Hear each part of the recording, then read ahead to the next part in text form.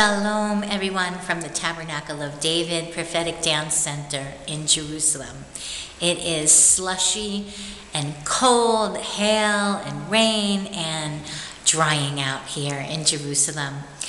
I wanted to share uh, how we can have transformation in our lives through the worst and most painful situations. I've been sharing lately, especially the past six months of my life living in the New Dance Center and home, I've had to make some really painful decisions standing for the Lord, which empowered me, and God has allowed me to see how much I've grown.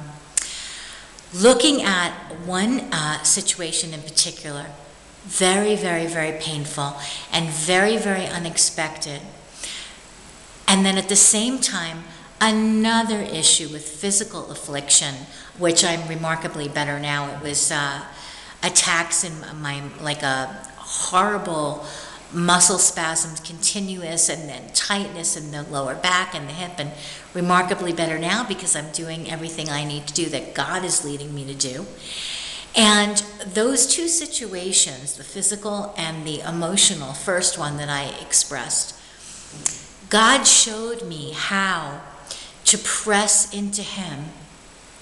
And it's been such a season of worship for me that He took what was so painful, both emotionally and physically, and He used it to strengthen my relationship with Him, strengthen my worship life, dug my feet deeper into the Lord, and became a very intimate time. And there's been a transformation.